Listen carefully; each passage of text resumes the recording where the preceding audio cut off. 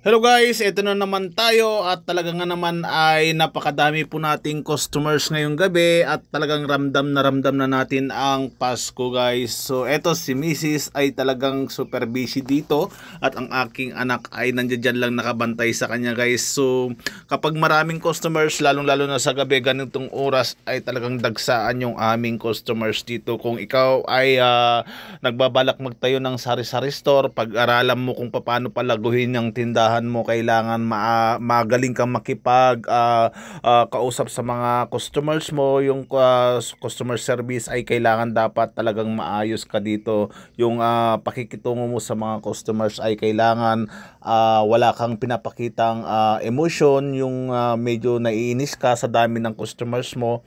Minsan kasi guys yung customers na bibili pa isa-isa pagkatapos na naiyabot mo na yung uh, uh, sukli niya saka pa bibili ulit ay alam naman niya na napakadami pang uh, customers dyan sa likod niya. So ganito karami yung aming customers ngayon uh, dahil malapit nang magpapasko guys. So napaka-bless po ang ating tindahan ngayon.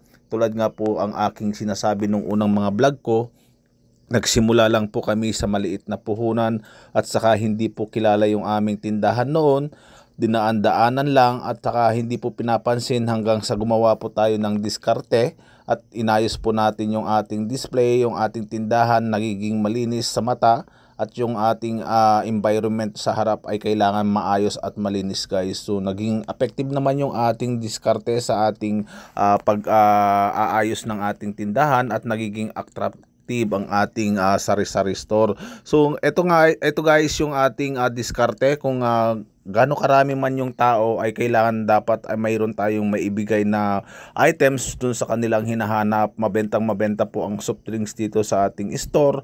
Halos hindi po makayanan ng ating chiller yung uh, soft drinks na kinukuha at saka yung mga inumin. Kasi kapag ganito guys na may mga event-event dito sa aming uh, barangay hall, o kaya sa school ay talaga nga naman said na said yung ating mga paninda, gulo-gulo yung ating paninda pagkatapos ng gabi, sasabayan pa ng mga nagiinuman dito sa side at talaga nga naman ay na-accommodate po natin yung ating uh, mga customers. So wag po tayong magpakita ng mga emotion sa mga nakakainis na customer, yung mga customer na demanding ay wag po tayong magpadala ng emotion guys. So dapat masanay na po tayo dito, magpasalamat po tayo sa kanila kasi na-develop yung ating uh, good character natin. So, ayun guys, tuloy-tuloy yung ang ating actual bentahan dito sa ating tindahan.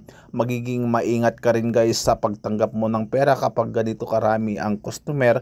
Kailangan bubuklatin mo yung pera sa harapan nila. Uh, sasalatin mo kapag uh, ah, 1,000 o kaya 500 bill yung kanila. So, meron naman tayong uh, money detector dito guys kapag uh, ganito na karami ang volume ng customers ay medyo nagmamadali na tayo at uh, gagamitan na natin ng mga technique techniques gaya ng uh, pagsasalat doon sa mga pera. So, halos mga kabataan guys yung ating mga uh, customers ngayon dahil um, bukas at uh, sunod-sunod na naman yung mga event dito. Mag-open na naman yung ating basketball tournament sa ating court at talaga nga naman ay magiging busy busy na naman yung ating tindahan. So ang gusto ko kasi guys yung ating uh, customer sana ay hindi ganito na bultuhan darating. Dapat uh, yung mga dalawa, tatlo, apat ganun lang. Pero pagka nitong bultuhan ay uh, hirap na hirap po yung uh, ating tindahan dahil uh, kaliwak kanan po ang kanilang sinasabi, pabili, pabili. Tapos yung ibang uh, customers guys ay medyo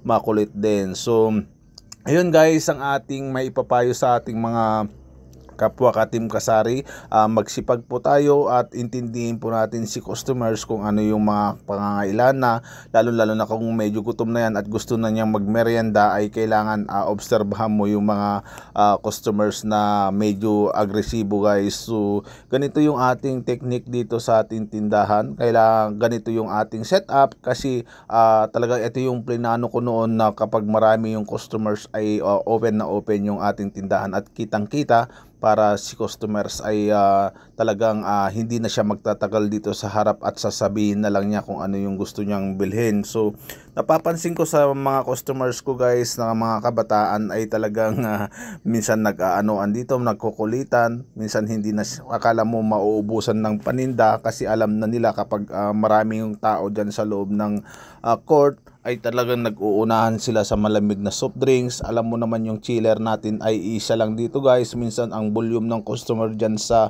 court ay minsan 300, 200 yung mga tao dyan ay napakahirap na pong ay accommodate dyan. So ako lang po ang uh, sari-sari store dito sa tabi ng court at saka yung iba ay medyo malayo so wala po silang ibang pupuntahan. So ayan guys ang ating mga diskarte dito sa tindahan. Uh, kung ikaw ay uh, nagplanong magtayo ng tindahan at may sari-sari store na, uh, pag-aralan mo pong maigi yung makuha mo yung loob ng mga customers mo. Kailangan lagi mo rin silang kinakausap, tinatandaan yung mga pangalan at saka kinukumusta din minsan yun ang mga ating mga diskarte dito, techniques.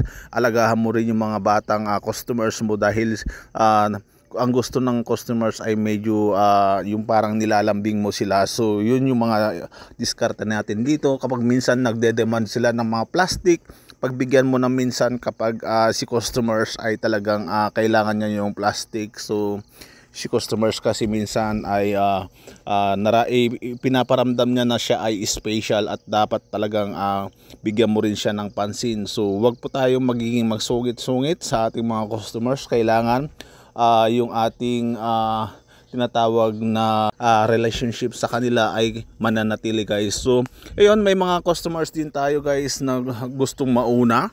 At uh, pansinin mo na yon guys kung uh, bigyan mo na ng pansin yung uh, taong gustong mauna at talagang uh, anuin mo na yon uh, medyo magiging alerto ka na dito pagka ganun yung uh, customers na gustong gustong uh, mauna. So tapos ang daming bibilhin tapos mag-isip-isip pa siya kung uh, ano yung uh, bibili niya. Kahit maraming tao na diyan sa likod ay kailangan bigyan mo na ng pansin to guys. So ayun kabilat kanan guys ang ating uh, uh, pwesto dito. Si Mrs. ay uh, magkasama kami dito Saktong-sakto naman guys kapag ako'y umuwi na at kami na talaga dalawa na misis dito para sa saktong oras, ganitong oras ay busy-busy yung tindahan kaya matutulungan ko na guys kapag uh, galing na ako ng duty, kapag nakita ko ng uh, marami na yung uh, customers ay talagang kahit hindi pa ako nakakapag-bis guys ay uh, sasalang na ako dito sa tindahan. So ito importante guys, ang napaka-importante sa pagtatayo ng sari-sari store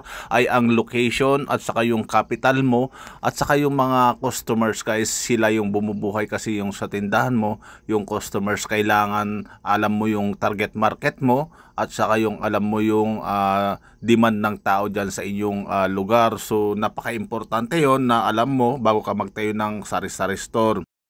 Kung napapanood nyo yung mga unang mga vlog ko na halos ganito yung ating content na napakadami po yung ating customers lagi. Ito pa ay isang uh, binibigay ko po at pinapakita ko pong para ma-inspired po yung mga gustong magtayo ng uh, sariling negosyo lalo lalo na yung mga OFW dati na kagaya ko ay isa rin akong OFW at talagang ito yung pangarap na pangarap ko noon makapagtayo ng sari-sari store dito sa uh, harapan ng aming bahay. So napaka-bless po natin dahil uh, si uh, God ay uh, binibigyan po tayo ng uh, guide dahil wala naman pong uh, gumagawa ng hindi maganda dito sa ating tindahan. At super sugod naman guys yung ating mga kapwa uh, taga rito sa amin ay halos magkakilala na. So, uh, yung mga customers namin dito guys ay kahit uh, biruin mo o sungitan mo minsan ay talagang uh, naintindihan ka naman nila kasi uh, halos araw-araw na kaming uh, nagkita-kita dito sa tindahan. So, minsan uh, humingi sila ng uh, tubig kapag uh, wala na silang pera yung mga ice water, yung mga kabataan na naglalaro dyan sa, tin sa court ay binagbibigyan na po natin sila guys. So marami po tayong mga kamag-anak kakilala dito sa ating mga customers at talagang pabalik-balik dito lalo-lalo na kapag oras na ng gabi kasi wala na silang ibang mapagbilihan. Kailangan guys ay uh, ano ka dito, mayroon ka mga items na ibibigay tulad dun sa mga ibang tindahan dyan sa mga city ay kailangan po guys ay bukas po kayo ng gabi kasi ay yung gabi po ang pinakamalakas na uh, bentahan. Ko kailangan lang po tayo mag-ingat habang gabi na at kailangan uh, nakasafe po yung ating store kasi uh, lalo lalo dun sa mga nasa city at talagang uh, talamak ngayon yung uh, mga kawatan ngayong uh, December. So dito naman sa pwesto ko ay napaka-safe dahil marami po kaming barangay tanod dito nagtatambay dito sa aming stores at saka wala po silang mapagtatakbuhan kung sakali man ay may gumawa ng hindi maganda dito sa tindahan natin dahil napakarami pong CCTV ang ating barangay hall nakatutok po ang isang CCTV dito sa ating tindahan.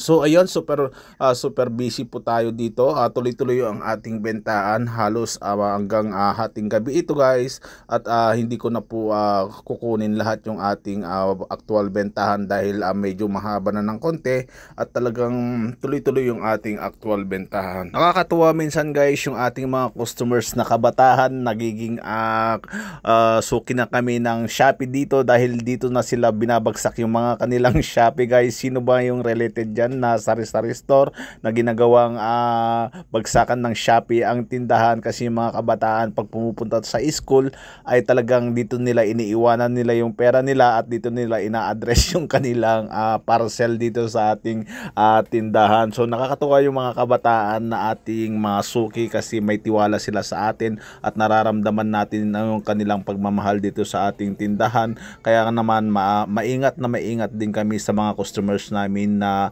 kaibigan na, kamag-anak na at talagang uh, yung kanilang parcel ay pinagkakatiwala sa amin. Kaya alam na alam ko pag pumunta si siya, si rider dito sa ating uh, tindahan, alam ko mayroon na naman uh, pinaiwan si uh, customer sa atin. So ginagawa din landmark yung ating tindahan dahil uh, nasa likod tayo ng barangay hall at talagang uh, pupuntaan at dediretsuhin na lang niyong, nila yung ating tindahan at alam na alam na nila kung saan yung lugar. So, iyon ay isa sa ating mga uh, tips ngayon. Uh, wag po tayong uh, magsungit-sungit sa ating mga customers.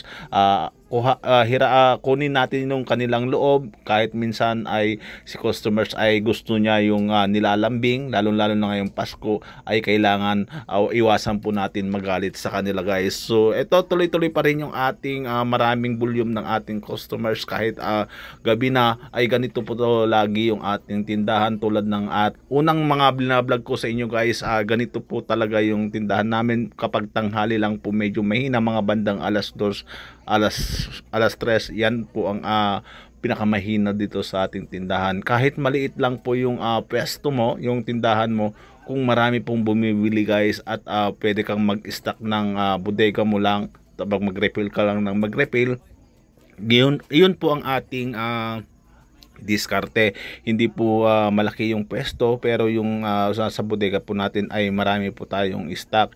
Hindi mo kailangan yung malawak na pwesto. Uh, kailangan mo lang yung talaga yung uh, kumuha ka ng uh, solid na customers mo. Ayun po talaga ang pinaka-importante dahil siya po ang bubuhay sa iyong tindahan yung customer na tinatawag. So, kung ikaw ay may tindahan sa tabi ng kalsada ay kailangan mong uh, talaga itong uh, ingatan. Kailangan may tao lagi dyan na nakabantay at hindi mo dapat to iiwan. So, isa yan sa mga diskarte ng tindahan na dapat talaga may tao yung uh, tindahan mo lagi lalo lalo na kung ganitong open at talaga nga naman hindi mo talaga ito maiwanan. So kahit uh, ah, magsi-CR ka nga lang ay medyo uh, hirap ng uh, iwanan. So ganito ang ating uh, uh, setup kasi nasa harapan po ng uh, bahay yung ating tindahan. Kaya kahit na naglilinis ka sa loob o naglilinis uh, ka dyan sa labas pag may tumawag ay maririnig mo na ito so pwede ka pang uh, makapagluto ng pagkain mo kapag nasa uh, loob ka ng bahay at talagang uh, kapag may uh, magtawag ay maririnig mo na mismo. So, ayun guys, yung ating mga blessings ngayong araw-araw na natatanggap at talagang naman uh, napapasalamat ako sa Diyos dahil sa dami ng ating customers lagi at talagang uh, hindi po ako nagsisi doon uh, sa desisyon kong nagpurgod na sa ibang bansa at talagang ito na yung ating pinagkakabalahan pagka ano tayo ay pumapasok po tayo sa trabaho ulit para matulungan natin yung ating tindahan at hindi natin magalaw yung uh, kinikita ng tindahan para mas mabilis uh, mapalago yung tindahan. So ayun ang ating mga iba't ibang techniques. Lagi kong sinasabi sa inyo guys kapag kayo ay nagsisimula, huwag nyo munang gagamitin yung uh, kita ng tindahan nyo, i-rolling nyo muna ng i-rolling para mas mabilis uh, lumaki yan kung mayroon pa naman kayong ibang other source of income ay uh, mas mabilis po ang paglago ng inyong uh, tindahan kapag hindi nyo po kinukuha yung profit. So, ayun yung ginawa ko nung una.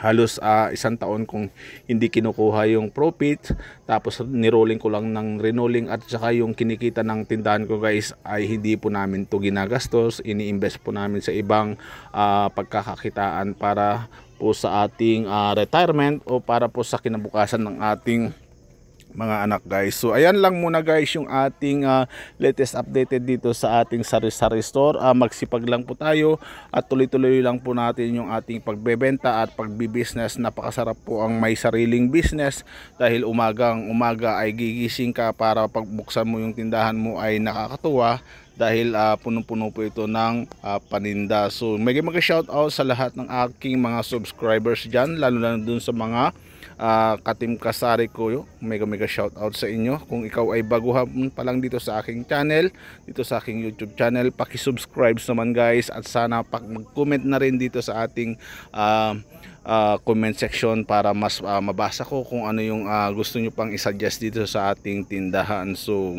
advance Merry Christmas sa lahat ng ating mga viewers, sa lahat ng ating mga customers. Mega mega shout out sa inyong lahat.